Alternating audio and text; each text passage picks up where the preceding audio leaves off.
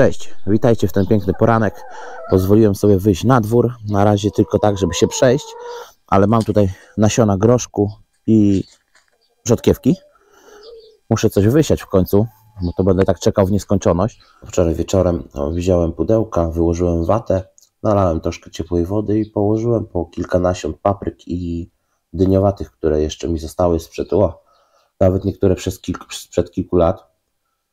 Zobaczymy, może coś wzejdzie. Jeśli wzejdzie, to po prostu przepikuję to do doniczek z ziemią, a jeśli nie, to trudno. Przynajmniej będę miał podgląd, bo oczywiście one są tak specyficznie ułożone, żebym wiedział, która paczka, które nasiona są z której paczki i żeby wiedzieć, czy jest sens to dalej trzymać, czy po prostu wszystko utylizujemy i kupujemy nowe nasiona na ten rok. Wreszcie będę już na coś czekał na grodzie. Pogoda nawet przyzwoita, ale jakieś chmurki nachodzą. Przed chwilą było bardzo słonecznie, a teraz widzę pociemniało. Ale dobrze, niech będzie tak. Jak tu oczko wygląda. Czekaj ryba. Sobie. Rybki się jak, się, jak pojawia się słoneczko, to się wygrzewają, aczkolwiek no woda mętna, bo jeszcze rośliny nie wystartowały. Jeszcze to wszystko nie pracuje tak jak powinno. Zrobię tutaj filterek, zrobię właśnie strumyczek prawdopodobnie tutaj zrobimy. Znaczy to strumyczek, to, to taki mikrowodospadzik ma być i to wszystko, żaden strumień. No ale jest to do e, ogarnięcia, muszę zrobić tak, aby stąd mniej więcej woda tędy i wpadała tutaj, bo tutaj jest folia położona, jak na te kamienie będzie wpadało, to akurat będzie super. Taki jest przynajmniej plan na razie. Wczoraj tutaj skosiłem jeszcze, zgrabiłem to wszystko dobrze, przygotowałem trochę ten trawnik, żeby jakoś wyglądał i powiem szczerze, nawet mi się podoba, pomimo tych wszystkich dziur i tego, że no wiecie, jak się ziemię dowozi, no to później jest tak jak e, tu widać, że ta trawa jest lekko e, jakby, no, taka zdewastowana, ale już można przejść bez błota po podwórku, to jest najważniejsze. Tutaj skopiemy ten kawałeczek, zrobimy po prostu grządkę. Miał tu trafić groszek nawet przez moment, pomyślałem sobie, ale jednak groszek damy tam, a rzodkiewkę wysiejemy do szklarni i może gdzieś tutaj grządkę na zewnątrz też. Tak to widzę. Wczoraj zakupiłem jeszcze ziemię w Biedronce na szybko, po to, aby można było wysiać kilka pomidorów z tych mikro, mikrotoma i maskotkę. Balkonie mi się nie udało znaleźć, ale, ale ten mikrotom i, balkon, i maskotka też się nada. I wysiejemy dosłownie po kilka sztuk nasion do tak przygotowanej doniczki. Więcej nie trzeba. A resztę nasion pomidorów wysieję gdzieś za jakiś tydzień, półtora, bo myślę, że one 1 maja już spokojnie będą siedziały w gruncie i w szklarni, no bo tak patrząc po ostatnich latach, tak to mniej więcej wychodziło. W razie W e, będziemy je ratować, ale coś mi się wydaje, że ten rok również będzie bardzo ciepły i nie ma po prostu sensu czekać jakoś bardzo długo. Zwłaszcza, że jak strych tam dobrze ogarnę, to nawet nie będzie ich mocno przegrzewać, więc nie powinny się wyciągać. Problem polega na tym, że teraz na strychu jest chłodno i całkiem dużo światła, ale później, kiedy zaczyna się e, pojawiać słoneczko, tak bardziej, wiecie, wychodzić jak należy, to tam się robi ciepło, bardzo ciepło. No i ta rozsada też rośnie dużo szybciej. Ach, szkoda by było rozwalić poliwęglan, więc trzeba robić to w miarę delikatnie. Oh, mam mega katar. Wczoraj byłem u znajomych, którzy mają psa, a jestem uczulony i teraz mi oczu zawią, nos zawalony, chyrlam i w ogóle ciężko mi się oddycha. Tak to jest. Ale przejdzie. Tak mam nadzieję. Dobra. Idę po fajne narzędzie, które 8 lat mnie przyleżało jako zdoba, a wczoraj mnie ocknęło, że to jest najlepsze narzędzie, jakie w ogóle ever mi jest potrzebne na ogródka i no i zaraz wszystko pokażę. Zanim przejdziemy do mojego ulubionego nowego narzędzia, jeszcze tutaj zgrabimy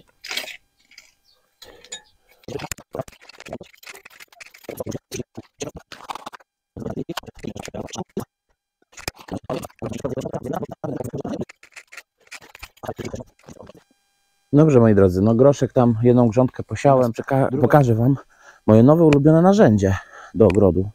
To było tak oczywiste, a jakoś nigdy o tym nie pomyślałem. Taki kilof z płaską końcówką, stary pewnie jak świat, bo ma cechę naostrzyłem tą końcówkę troszeczkę szlifierką i nagle się okazuje, że każdy korzeń na ogródku, każde kłącze, każde, nie wiem, jakiekolwiek problemy z wyrwaniem czegoś, nie stanowił żaden problem, bo po prostu to wchodzi w ziemię jak masło i nawet tutaj, gdzie szpadel się nie chciał bić za bardzo, gdzie nie chciał te korzenie pozwolić, żeby puścić, to w tej chwili jestem w stanie to wszystko znorać, odciąć i wyciągnąć. Jedną ręką to nie robota, ale patrzcie, tutaj, tutaj nie mogłem szpadla wbić nawet. Nie było takiej opcji, a teraz odcina te wszystkie korzenie po prostu jak, jak masełko. Więc prawdopodobnie całą tą górkę tutaj w taki sposób przehakam tym kilofem, następnie wygrabię i wreszcie uporządkuję to miejsce, bo tutaj są same korzenie i same kłącza, które pozostały po tych wszystkich miskantach, nie miskantach. Tak samo będę musiał zrobić z drugiej strony, e, bo tutaj ten miskant chiński, olbrzymi, taki potężny, ten, to jest ten miskant, który się obsadza, żeby mieć tą tak zwaną trawę energetyczną. No i on tutaj ma raz, dwa, tam się porozrastał. No to wszystko trzeba wyrwać, bo jak ja tutaj nasypię ziemi, zrobię strumyczek, to ten strumyczek za myślę dwa miesiące po prostu będzie cały przerośnięty tym, tym, tym miskantem i to będzie już lipa. On będzie ładnie wyglądał do momentu, kiedy on osiągnie metr. Później to zostaną tylko takie pałki, każdy w inną stronę i, i tyle. Dlatego no, trzeba te kamyczki tutaj pomiędzy tymi dwoma dużymi wszystko wyciągnąć, wyhakać, wyciągnąć te korzenie i tam na nowo po prostu to poukładać i zrobić taki pseudostrumyczek. Dzieci będą się cieszyć, bo one strasznie lubią takie atrakcje na ogródku. No a coś tam będzie sobie plumkało i ta woda będzie przez coś przepływać, dotleniać się. Taki jest plan. No nie jest już tak tragicznie, jak, jak było na tym ogródku jeszcze miesiąc temu. Myślę, że za miesiąc to, już w ogóle będzie fantastyko wyglądało, jak ukończę.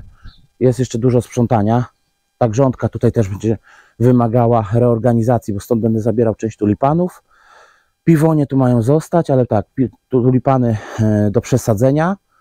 Teraz e, poczekam aż zakwitną, bo już nie będę ich, tutaj już kwiatki idą na nich oczywiście, ale poczekam, wykopię tylko te pojedyncze, które są bliżej e, tego, jak się nazywa, krawężnika i zabiorę fasolki. Przesadzę sobie tam, gdzie mówiłem, przed dom.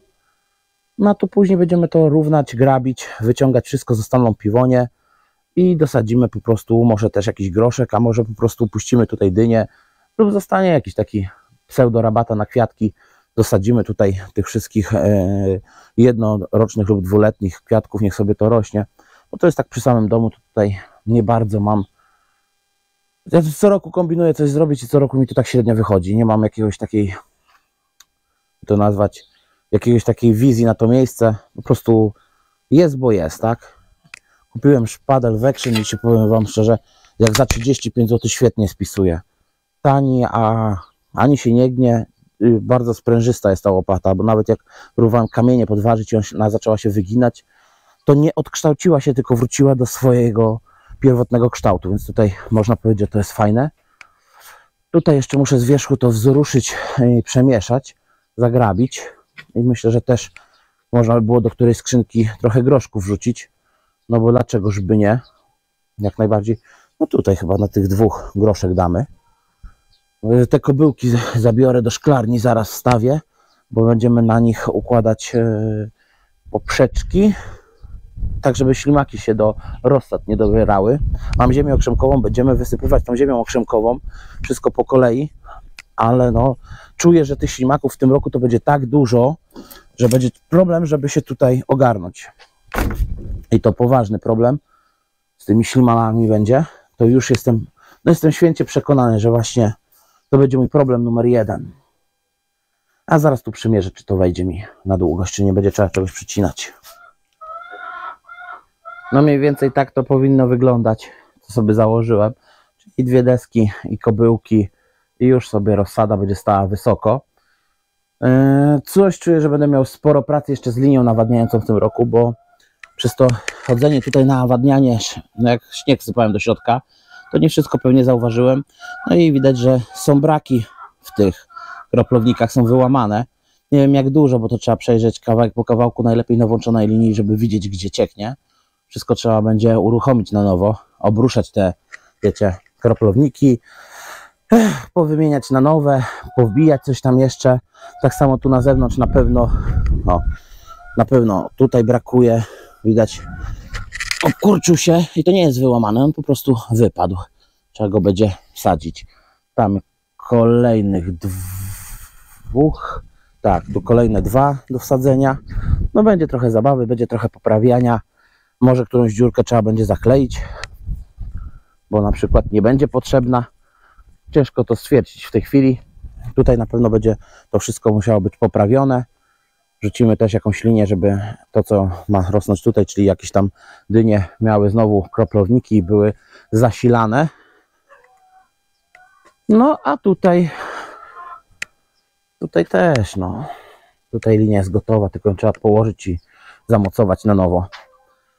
To by było na razie na tyle. Ja tu jeszcze zaraz grabki, widełki i posieję ten groszek, żeby on już siedział, bo ja, dla mnie jest bardzo ważne, żeby już na samym początku marca groch trafił do ziemi. Biorę się i tutaj e, idę, dopiję kawę, a w międzyczasie jeszcze ten groszek tam wrzucę, żeby już, żeby już był w ziemi. Miłego tygodnia nadchodzącego. Pam, pam, pam, pam, pam, pam, pam, pam, pam, pam, pam. Ja wiem, co wy chcecie. Wy chcecie, żebym ja wam tu kopał, bo robaki są w ziemi. Ja wiem. Nie, nie, nie, nie. Wy nie idziecie ze mną kopać teraz. Że Ja wiem, jak to się skończy. Ja was wypuszczam, a wy potem sobie ryjecie wszędzie i to tylko chcecie. Patrzcie. Jakie piękne. Powinienem je zabrać na ryby. I część zabieram. Ale że wiem, że mam ich tak bardzo dużo na ogródku w tej chwili, to robimy to tak. Bierzemy takie dżownice i i one wiedzą, co ja niosę. I wrzucamy. Ale dwie mają wyskubane te ogony, no. Dwie mają pod szyją, a dwie ogony. Hmm. Już nie wiem, co mam z tym robić. Dobra.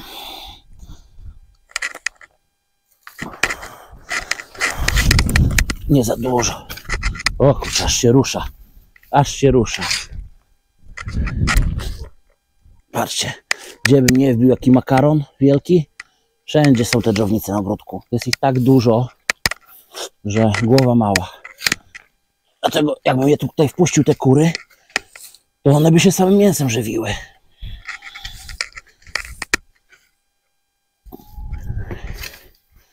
Ale dobrze, zaraz tu będzie gotowa grządka, posiejemy groszek.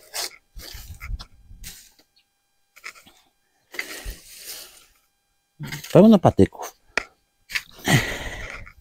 I pokrzywa. Pokrzywa. Takiej nie jedzą. Nie lubią.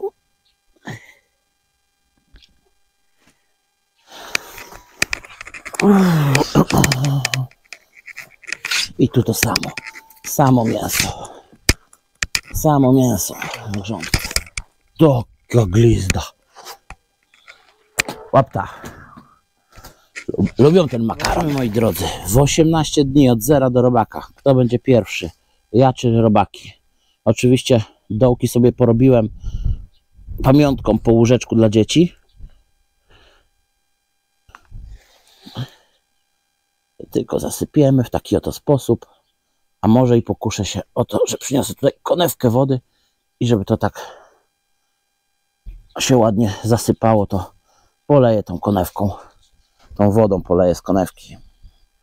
Niby 18 dni. No nie wierzę, że mi się to uda. Ale miło by było, jakbym chociaż raz e, zjadł rzodkiewkę bez robaków. Nie, że jestem wega, ale po prostu tak fajnie by było, jakby nie miała dziur. Zobaczymy, czy to wypali. Jeszcze posieję później w szklarni. Jeszcze teraz trzeba posprzątać, bo tu wszędzie bajzel. O, lampki ponaprawiać solarne. Kurczę, tak wiało, że wszystko znowu się poprzewracało. Dopiero co te krzesło tutaj postawiłem na tarasie, a już leży. No i będzie, będzie malowanie w tym roku i inne takie też. Uff, dobra, to jeszcze raz. Miłego.